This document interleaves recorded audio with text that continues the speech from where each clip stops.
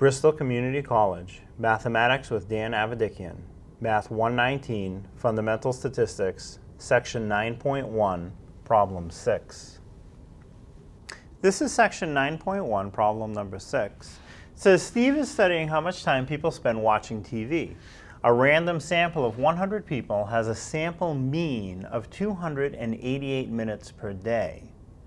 Assume he knows that the population standard deviation is 92 minutes Find the following confidence intervals. So the first one is 90%. So let's find a 90% confidence interval for the number of minutes per day that people watch TV.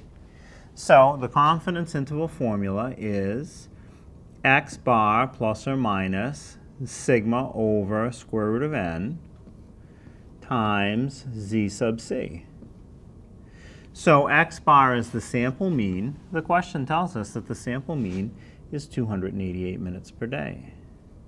Plus or minus sigma, the standard deviation of the population, which is also given to be 92 minutes, over a square root of n. n is the size of the sample, and it says in the question that the size of the sample is 100. So that's n, 100.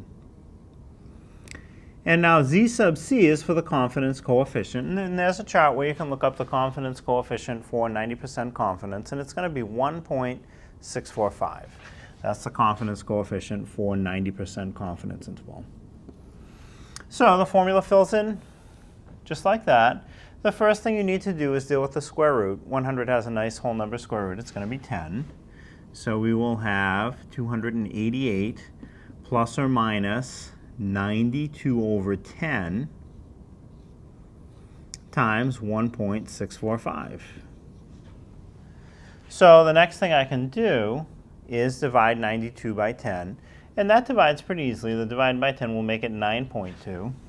Oops, let me put my other parenthesis there. So I'll have 288 plus or minus 9.2 times 1.64 5. So now the next thing I can do is multiply 9.2 times 1.645. So that'll be 288 plus or minus, and I'll use my calculator for that. 9.2 times 1.645 equals. So it is 15.134. And that's what you would call the margin of error, the 15.134. When you get down to one number after the plus and minus, the name for that value is the margin of error. And now that I have a margin of error, I have one number after the plus and minus, I can split this into a separate minus and a separate plus to find the low end and high end of my confidence interval. So the low end will be 288 minus 15.134, and the upper end will be 2 288 plus 15.134. So now when I subtract, it should be 272.8 uh, 66, I think. But let's do it on the calculator to make sure. 288 minus 15.134 is 272.866 and the upper end, it's a little bit easier, but I'll do it on the calculator also just to be sure.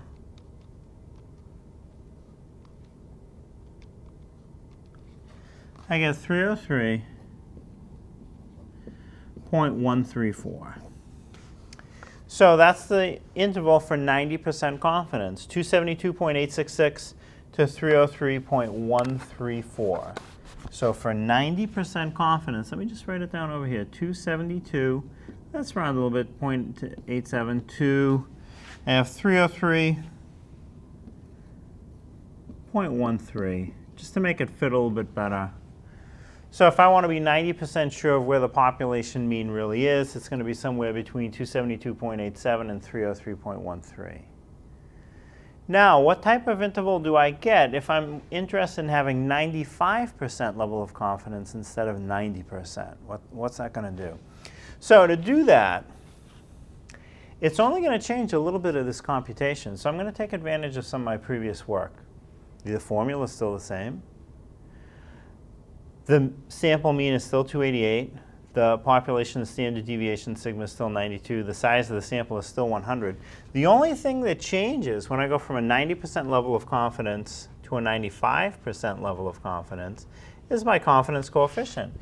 It's no longer 1.645 that it was for 90%. For 95%, it's 1.96. And again, you can just look that up. So all the way down in my previous computation, I'm just going to change what was 1.645 for 90% to 1.96 for 95%. And then what comes after that, I'll just make room for some new computation.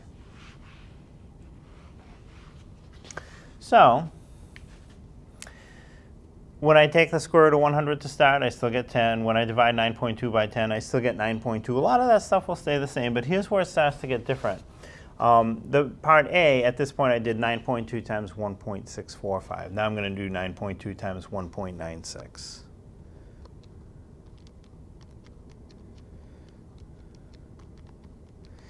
And the calculator tells me that is 18.032. So last time was 15, now it's 18. Well, with some decimals. So that's my margin of error now, 18.032. So now I can split into a separate low end and high end for my confidence interval. The low end of the interval will be 288, the sample mean, minus the margin of error, 18.032. to the upper end will be 288 plus the same number, 18.032. So now on the low end, when I subtract, it should be 279.968, I think. Let me just verify that with the calculator.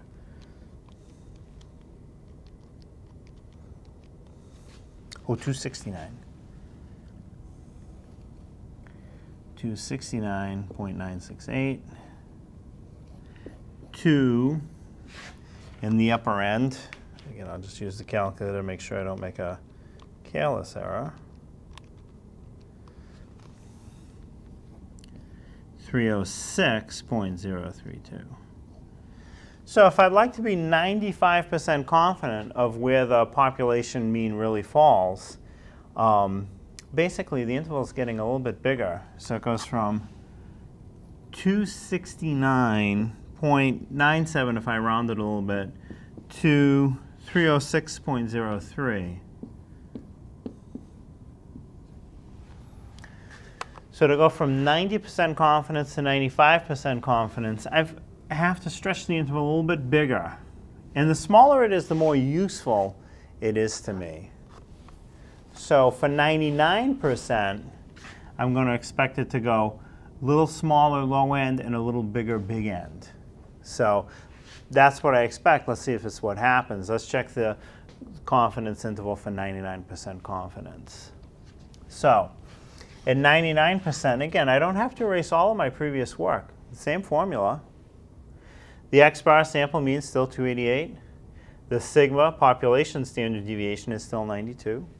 And the size of the sample is still 100. None of those things changed. What changes is the z sub c. The confidence coefficient for 99% is a little bit bigger. It's 2.58. And again, that's something you can look up in a little chart that we have in the notes. 2.58. So everywhere I had the value of z sub c in the previous work, I'm going to update that to 2.58 for 99% confidence.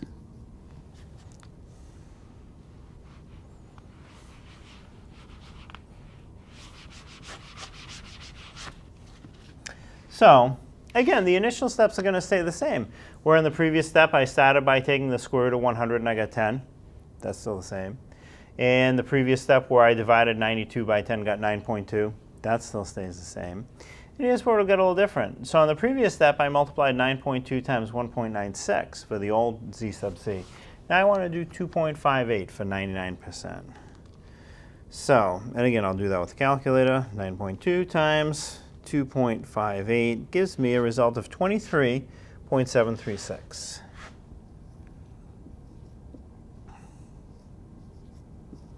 And again, that's what I would refer to as the margin of error. 23.736 is the margin of error for a 99% confidence interval. So now that I have one number after my plus and minus, again, I can split it into a separate minus, separate plus to find the low end and high end of my confidence interval. So the low end will be the sample mean 288 minus the margin of error 23.736. And the upper end will be the same numbers but with a plus, 288 the sample mean plus the margin of error of 23.736. And the low end, again, I'll just do that with a calculator to make sure I have it right. When I subtract 288 minus 23.736, I get 264.26. And then the upper end,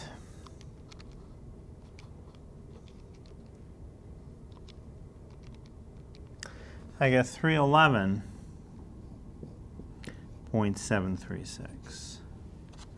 So for 99% level of confidence, the confidence interval goes from 264 point with some round off 26 to